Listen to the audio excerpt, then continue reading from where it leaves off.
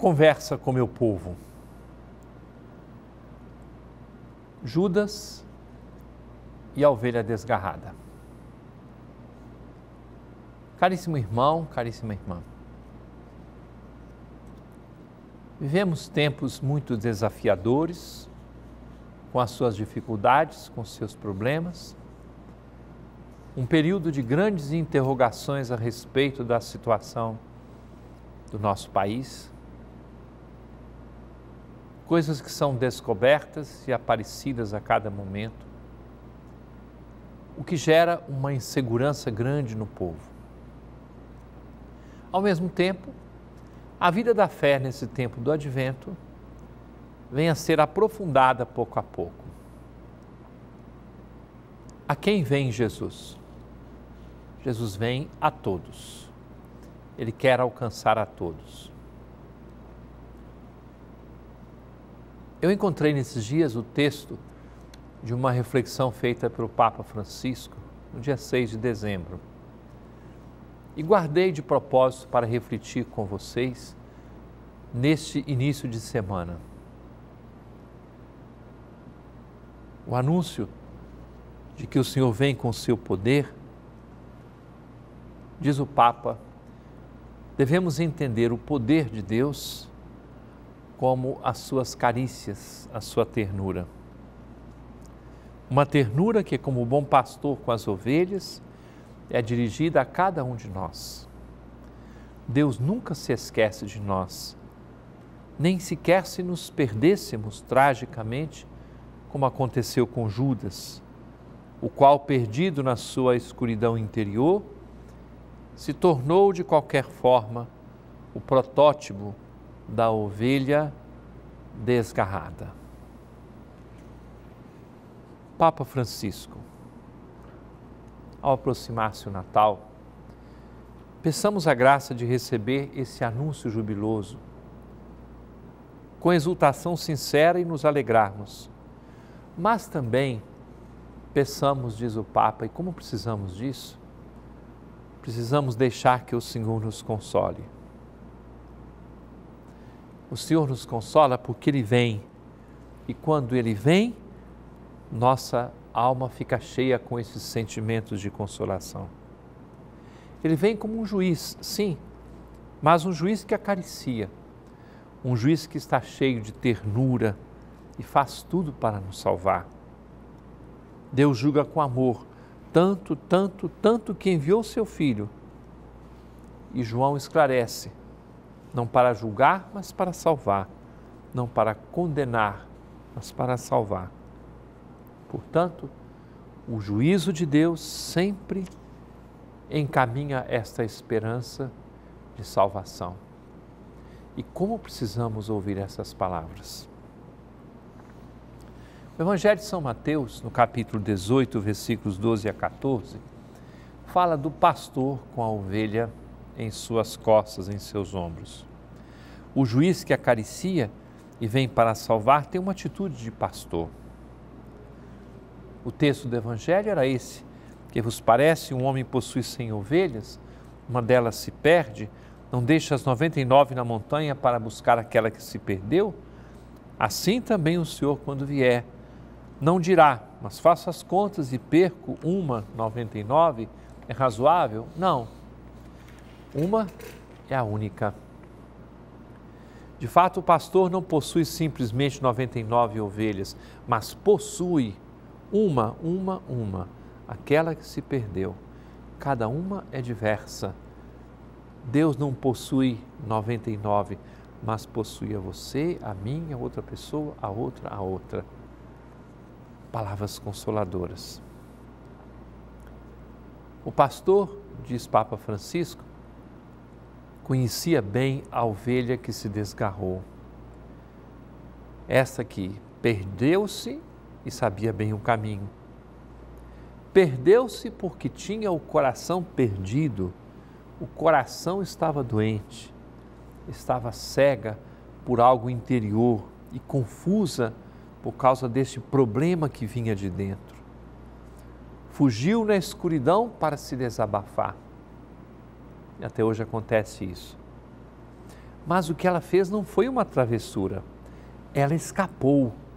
Uma fuga precisamente para se afastar do Senhor, para saciar aquela escuridão interior que a levava a ter uma vida dupla.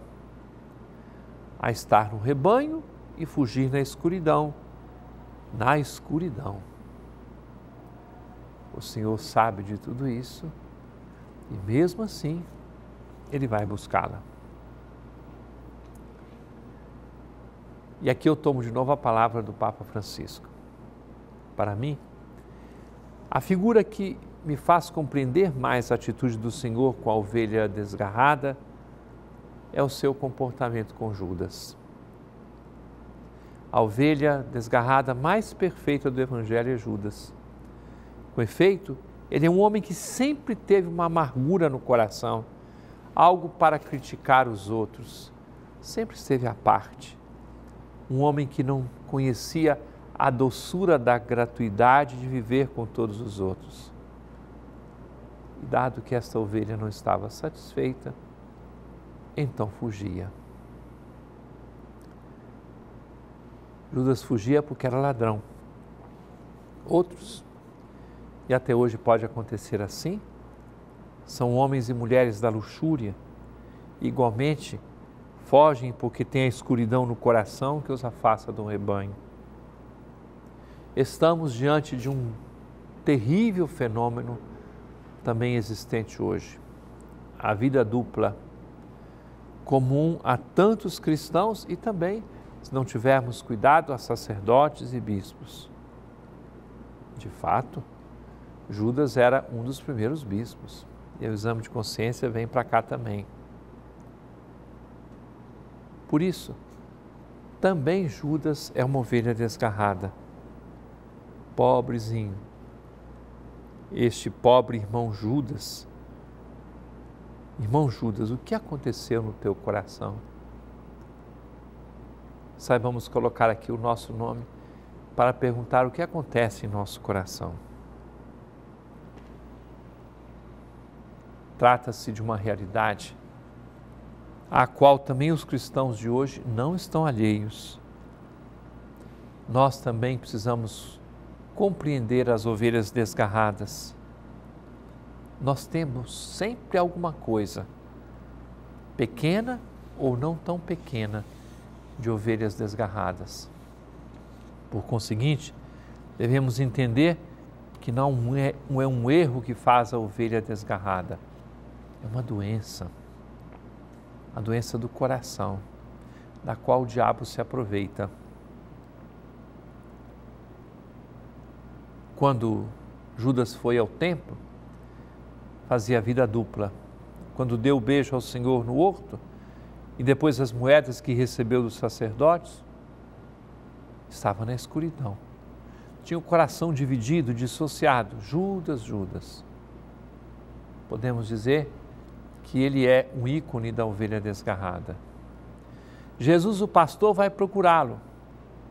Faz o que deves fazer, amigo, e beija-o. Mas Judas não entende. Quando Jesus lhe dá um, um pouco daquele do seu próprio alimento, era um gesto de intimidade. E no final, ao dar-se conta de que a sua dupla vida provocou o mal na comunidade, e que ele ficou na escuridão interior, que o levava a fugir sempre procurando luzes que não eram a luz do Senhor, mas luzes artificiais, como a dos enfeites de Natal. Quando compreende tudo isso, no final se desespera. É o que acontece se as ovelhas desgarradas não aceitaram as carícias do Senhor. O Senhor é bom, inclusive com essas ovelhas nunca deixa de procurá-las. Uma palavra que diz que Judas se enforcou, arrependido. A gente não sabe o destino de Judas. Creio que o Senhor poderá pegar aquela palavra e levá-la consigo. Não sei, pode ser, mas aquela palavra deixa uma questão em nosso coração. Mas o que significa aquela palavra? Que até o fim o amor de Deus agirá naquela alma, até no momento do desespero. E é precisamente este o comportamento do bom pastor com as ovelhas desgarradas.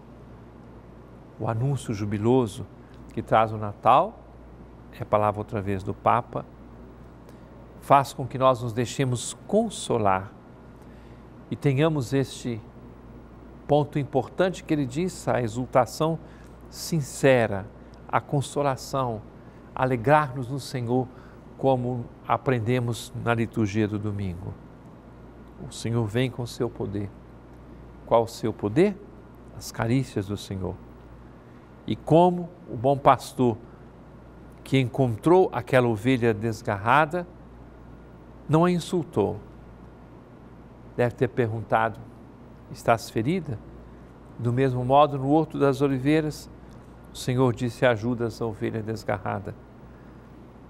Amigo, assim o chamou, sempre com carícias. Conclui o Papa: quem não conhece as carícias do Senhor, não conhece a doutrina cristã. Quem não se deixa acariciar pelo Senhor está perdido. E é precisamente este o anúncio jubiloso desses dias de advento. É a exultação sincera que queremos hoje. Esta é a alegria, a consolação que procuramos.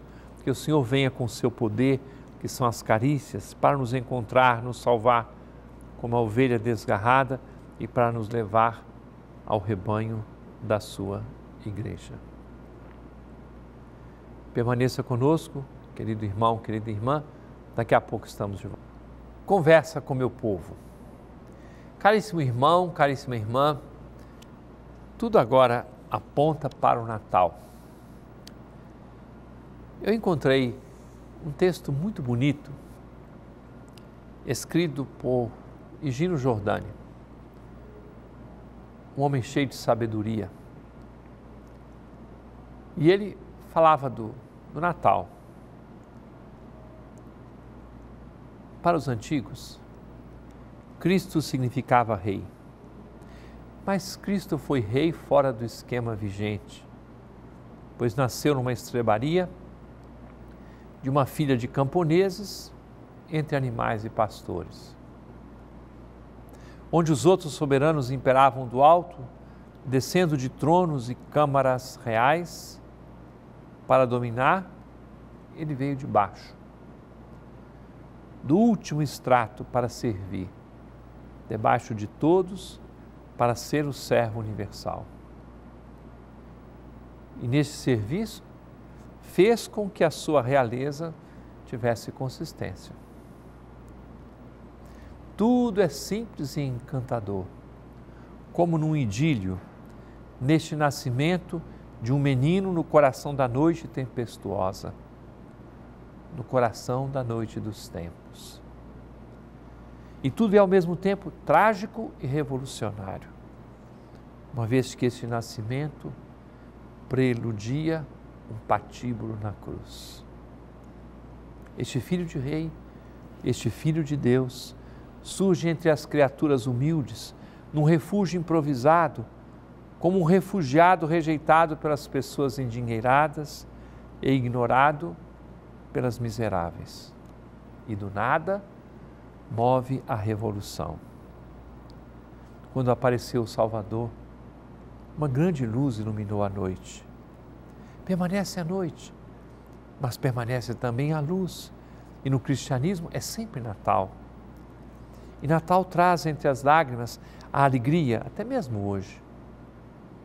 Tendo descido Deus entre nós, nós subimos a Deus ele se humaniza e nós nos divinizamos. O ponto de encontro é o coração de Jesus. Jesus nasceu numa estrebaria para nos demonstrar que pode nascer também no nosso coração, que é um local às vezes não menos sórdido. E quando nasce no nosso coração, como sobre a gruta se elevam cantando os anjos, resplandece na noite a lua e chove. Na terra chove a paz.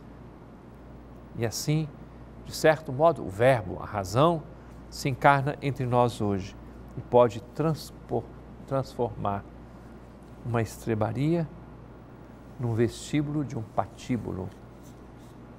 O sofrimento Salvador. Comecei esta parte do nosso programa com essas palavras poéticas que encontrei, porque as perguntas quase todas dizem respeito ao Natal. Daniele Cardoso de Belém, existe uma data histórica para o nascimento de Cristo? Alguns falam que o nascimento aconteceu no início do ano. Daniele, é bom recordar que essas datas não têm importância para a determinação da comemoração litúrgica. Não tem um documento que possa dizer Jesus nasceu no dia 25 de dezembro, porque a comemoração não foi baseada em calendários, mas foi para ocupar um espaço na sensibilidade das pessoas, mostrando que o verdadeiro sol que vence as trevas é Jesus Cristo é comemorar a presença dele e não fazer festa de aniversário como nós costumamos fazer. No dia 25 de dezembro, então conta-se o período anterior de nove meses, aí nós celebramos a Anunciação do Senhor no dia 25 de março. As escolhas das datas dependem de outras circunstâncias. Portanto, não podemos nos fixar nessas datas como se tivesse um documento para mostrar o dia em que Jesus nasceu. Provavelmente não deve ter sido em dezembro. E lhe digo por quê. Porque os pastores estavam por fora cuidando dos seus rebanhos. Certamente no mês de dezembro, no ambiente ali da Terra Santa, não dava para deixar o rebanho fora das estrebarias durante a noite por causa do frio. Então é bom a gente saber que provavelmente não foi nessa data. Mas o que importa é celebrar o mistério do nascimento de Jesus. Não tanto se foi o dia 25, 23 ou foi outro mês. Elza Gomes. A cena do presépio é verdadeira? Todas essas cenas são aproximativas, Elsa. O Evangelho nos conta alguns detalhes. Tudo indica que quem descreveu essas coisas bem, São Lucas, deve ter tido muita conversa com Nossa Senhora. Porque ele descreve coisas que só alguém que viveu diretamente poderia ter contado. Que os magos chegaram, agora mesmo vamos falar dos magos, que os pastores vieram, o canto dos anjos. Certamente Nossa Senhora deve ter aberto o seu coração para contar essas coisas a São Lucas, porque ele anotou muitos detalhes interessantes. Agora, quando você faz um presépio, eu de origem eu sou mineiro, e há nas cidades antigas de Minas costumes de fazer presépios imensos perto da minha casa, tinha uma família que tinha um, um presépio que ocupava um cômodo inteiro. E cada coisa interessante que acontecia durante o ano, eles punham mais um negócio no presépio. Então, no presépio tinha estrada, tinha carro, tinha linha de trem, tinha um mundo de coisas, até um aviãozinho pendurado. Para quê? Para mostrar que Jesus nasceu para todos e a sua graça de presença influencia todas as realidades. É uma forma poética em Belo Horizonte. Quem quiser visitar, tem um, o presépio do Pipiripau. É imenso, é uma verdadeira cidade. E cada ano eles vão acrescentando mais coisas, ficam mais bonitos. Qual é a cena essencial para nós num presépio? E eu desejaria que todas as casas dos cristãos católicos tivessem um presépio. A cena principal é o quê? A imagem de Nossa Senhora, a imagem de São José e o menino. Os enfeites as pessoas fazem como gostem, como acharem importante. Mas seria muito importante porque é muito catequético você ter os presépios em nossas casas. É uma bela formação que nós podemos ter em nossas famílias através do presépio.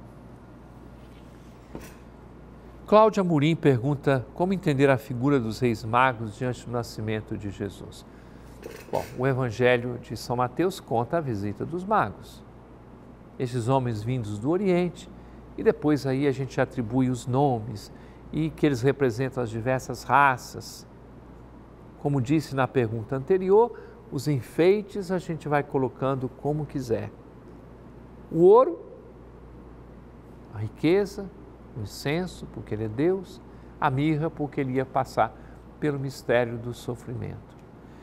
Então, a figura dos magos que vieram de longe, os reis magos, aqueles sábios do Oriente, expressa que Jesus veio para salvar a todos e que seu nome deve ser levado até os confins da terra.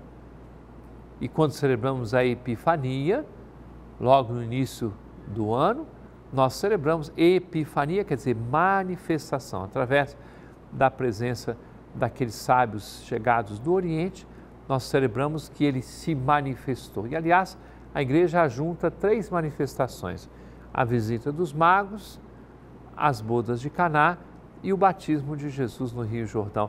E aquele tempo é chamado assim o tempo das teofanias, quer dizer, das manifestações de Deus. Carla Alencar. O senhor pode falar sobre o consumo que envolve as festas de Natal? Eu tenho dois ângulos de visão. O primeiro é muito positivo, porque esse costume nasceu justamente pelo fato de que aqueles sábios chegados do Oriente levaram presentes a Jesus. Então, na igreja, apareceu esse costume de presentear Jesus nos irmãos e nas irmãs, nas pessoas, dando presente dentro da família, é, dando ajuda para os pobres. Então tem um sentido muito bonito. Até a figura do chamado Papai Noel, a origem qual é? A origem é São Nicolau, um bispo que ajudou muitos pobres, então, especialmente as crianças. E daí essa figura foi popularizada, por isso o tipo de figura de, de Papai Noel, né? uma figura originalmente cristã, e depois a gente sabe que é, o comércio muitas vezes explorou inadequadamente e indevidamente esta figura. Aí vem o outro lado, segundo a pergunta que me foi feita pela Carla Alencar. O consumo. Quando a gente escuta os noticiários, fala assim: os comerciantes esperam que o Natal deste ano seja melhor do que o anterior ou estão preocupados porque o Natal vai ser mais fraco. Melhor ou mais fraco mexe com isso aqui. Enquanto para nós, o Natal será melhor quando Jesus for mais acolhido. Então, o lado da exploração do consumo, e vamos dizer a verdade, esses dias eu passei é, de carro pelo comércio, parecia um formigueiro gente sem dinheiro, comprando coisa que não consegue pagar. E vamos dizer a verdade, tantas vezes comprando bugigangas, gastando dinheiro absurdamente. Eu penso que nós podemos ser um pouco mais modestos nessas coisas. Que os comerciantes não venham bater em mim, mas eu tenho que ser sincero com vocês que me preocupa. Às vezes a gente quer dar presentes além daquilo que nós temos condições e gastamos absurdos. Isso não faz bem para ninguém, nem para as famílias, nem mesmo para as crianças que ficam habituadas a receber uma série de coisas nesse tempo de Natal. Lucideia Carvalho. O senhor, em seu programa, falou do ano mariano, como será feito. E Márcia Valente, também de Belém, a igreja tem alguma recomendação para o ano mariano? Temos uma programação, dou alguns exemplos. Nós teremos um simpósio mariológico no mês de setembro, um estudo profundo a respeito de Nossa Senhora. Nós pedimos que em todas as missas, durante o ano mariano, sempre houvesse um canto dedicado a Nossa Senhora no final da missa. Nós teremos a visita da imagem de Nossa Senhora Aparecida dentro dos 300 anos da aparição desta imagem ali no Rio Paraíba. e cada diocese ou arquidiocese recebeu uma imagem de Nossa Senhora Aparecida. Eu vou buscá-la em Aparecida antes dessa semana, que vai ser a partir do dia 18 de março. Passaremos cada dia numa região pastoral, nas sete regiões pastorais, e depois, a partir dali, a imagem será custodiada na paróquia de Nossa Senhora da Conceição Aparecida na Pedreira e a visita da imagem acontecerá durante o ano em todas as paróquias que assim desejarem. Pedimos que as paróquias façam uma semana mariana durante o ano. E aí se multiplicam as iniciativas. O Círio de Nazaré, escolhemos o tema Maria Estrela da Evangelização. Vamos celebrá-lo dentro desse clima do ano mariano. E depois, a criatividade das diversas paróquias que poderão programar muitas atividades relativas ao ano mariano. Desça sobre todos a bênção de Deus Todo-Poderoso, Pai, Filho e Espírito Santo e permaneça para sempre. Amém.